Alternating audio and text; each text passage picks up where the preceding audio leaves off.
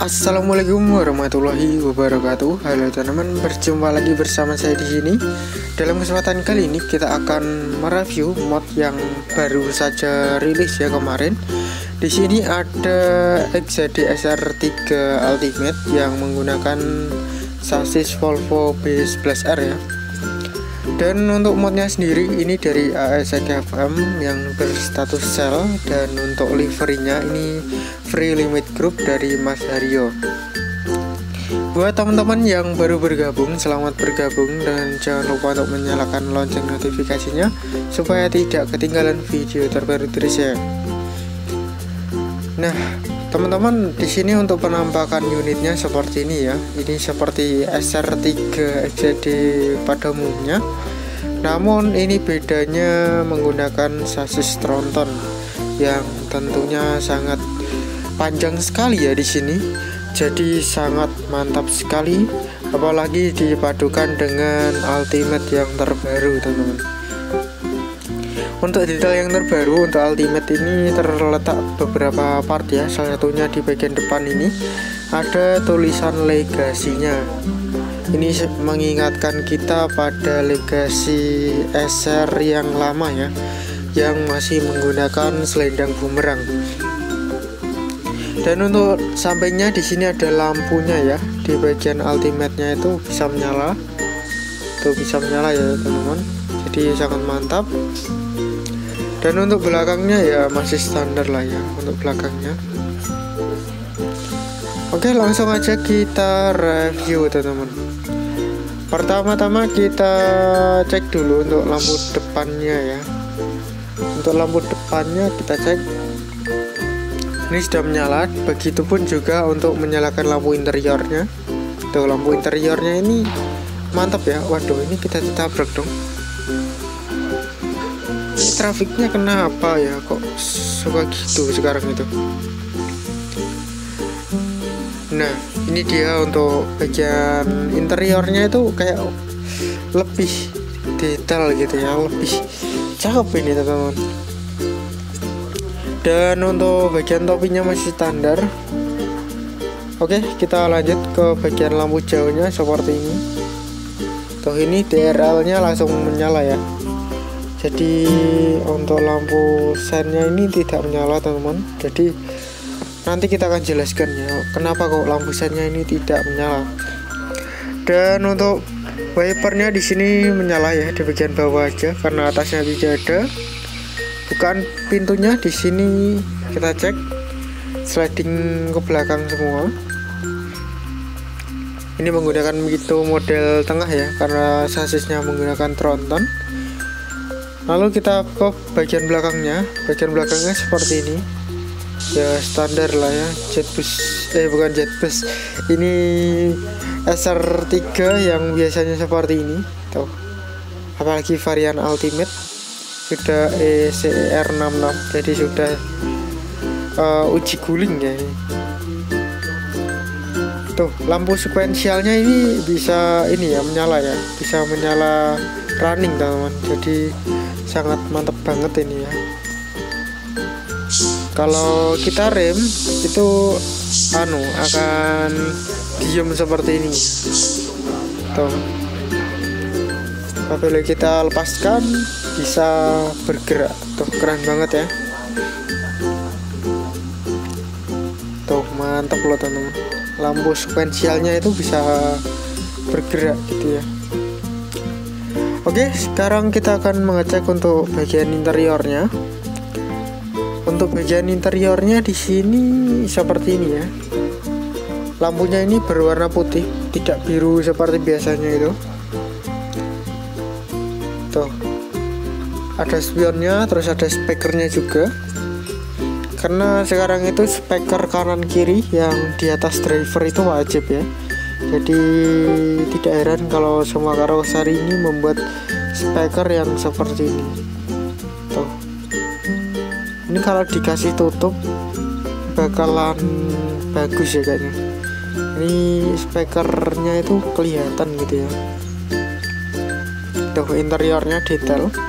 Jadi tidak perlu menunggu Scania K450CB dari ASK FM ini.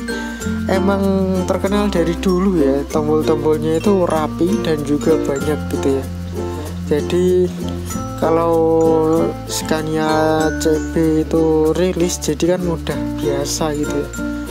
Kayak ya emang buatan ASK FM ini emang tombolnya banyak gitu ya. Tombolnya banyak terus untuk penataannya rapi gitu ya. Jadi ya sama aja gitu teman-teman oke untuk teman-teman kalau mungkin bertanya ya bagaimana sih uh, cara mengoperasikan power window-nya ini? Untuk power window ini cara mengoperasikannya dengan cara membuka pintu ya. Jadi nanti untuk kacanya bisa turun bisa teman-teman lihat ya. Kacanya itu turun jadi seperti itu. Tuh bisa turun ya. Jadi keren banget. Oke langsung aja kita ke tombol animasi. Pertama adalah suspensi. Kedua ini adalah DRL ya dan juga fake shadow jadi tadi kan untuk lampu sennya tidak menyala ya di bagian lampu. Nah ini bisa menyala teman-teman. Jadi seperti itu tuh bisa menyala ya. Ketika kita aktifkan atau nonaktifkan dari anim nomor 2 itu seperti ini. Tuh jadi seperti itu ya. Dan ketiga adalah bukaan. Untuk bukaannya bagasinya kiri satu kanan tiga belakangnya sudah menggunakan model 3D ya. Ini apa ya? Menurut saya itu kurang handle handle dari bagasi itu loh yang semacam hidrolik. Bagasinya ini belum ada ya. Tuh. Emang ya dari SKFM ini biasanya kalau handlenya suka lupa gitu ya. Mulai dari muat Avante terus sampai jet besar itu nggak ada handlenya. Jadi bukaannya seperti ini teman yang saya maksud handle itu seperti itu loh yang Bentar kita keluar dulu ya. Nah kerangka ini teman Ini kan di bagian bagasi ada ya Yang hitam-hitam itu. Yang buat buka lah ini dia Masih panjang hitam ini. Ini biasanya Kalau ASC FM untuk mesin belakangnya itu nggak ada ya Kap mesin belakangnya terus untuk bagian interiornya seperti ini. Ini sudah menggunakan model terbaru. Kalau yang kemarin itu warnanya belum seperti ini ya yang XJD maupun transporter. Jadi ini sudah menggunakan model lover yang terbaru dan untuk lover AC nya berada di pinggir semua ya untuk laksana ini. Saya juga agak bingung ya untuk desain lover AC-nya Laksana ini. Karena kan letaknya itu kan di bagian pinggir banget ya. Di bagian yang ada putihnya itu. Kalau birunya itu kan kosong. Nah itu apa penumpang baris yang tengah itu apakah enggak terlalu repot ya? Misal buat ngecas atau mindah-mindah AC gitu ya. Karena kan kalau misal bisa akap lah ya itu kalau misal lover AC-nya cuma di pinggir dan misal kitanya itu duduk di bagian tengah itu apakah enggak misal orang yang enggak enakan itu akan menjadi canggung ya? Misal mau cas atau mau memindahkan AC atau menghidupkan dari lampu baca itu apa enggak seperti itu itu ya teman-teman? Mungkin dari teman-teman kalau udah pernah naik bus S series atau bus dari Laksana bisa tulis di kolom komentar ya pengalamannya. Itu seperti apa? Kalau pakai sasis bus Adi Putra kan itu letaknya di bagian tengah ya. Nah kalau Laksana ini kan berada di pinggir teman-teman. Jadi bisa sharing-sharing ya di kolom komentar. Oke untuk varian yang kita gunakan itu ini variannya cukup simpel ya. Hanya ada stainless di bagian tengah. Terus untuk strobonya seperti ini. Sebenarnya saya itu tidak menyentang strobo ya.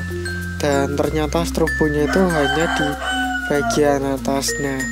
Karena saya itu pengen ini ya kaca atasnya clean. Jadi untuk strobonya hanya di bagian bawah aja. Jadi seperti itu dan ada satu hal yang unik lagi. Mungkin teman-teman kalau udah order ini entah ya udah nyadar apa belum ya. Karena ini teman-teman unik. Entah ini collab karoseri atau gimana ya. Ini di bagian seatnya ya. Seatnya itu kalian bisa tebak ya ini logo apa. Eh. Tuh ada Adi Putronya dong. Ini ceritanya kolab apa gimana ya? Nanti ini kursinya lupa di reedit ya mungkin. Atau di skin ya atau livery ya. Yang tahu bisa komen ya karena saya belum mencek. Karena kok ini ada logonya Adi Putro saya itu agak keheran-heran ya sama seatnya ini. Jadi seperti itu terus untuk toiletnya menggunakan toilet tengah ya standar Bistronton untuk toiletnya toilet tengah gini. Dan kita akan coba untuk jalan-jalan ya. Oke kita langsung aja jalan-jalan. Ini yang baru adalah untuk spionnya. Itu angle-nya itu wah baru dan enak banget teman-teman. Ya saya itu juga berterima kasih pada teman-teman ini sudah ada yang berkomentar kalau angle spionnya itu diadakan angle yang bawah gitu ya yang bagian spion bawahnya ini. Jadi ketika kita pengen melihat garis jalan atau land itu bisa ya teman jadi enak banget. Kita coba praktekkan misal kita itu berada di tengah-tengah gini ya.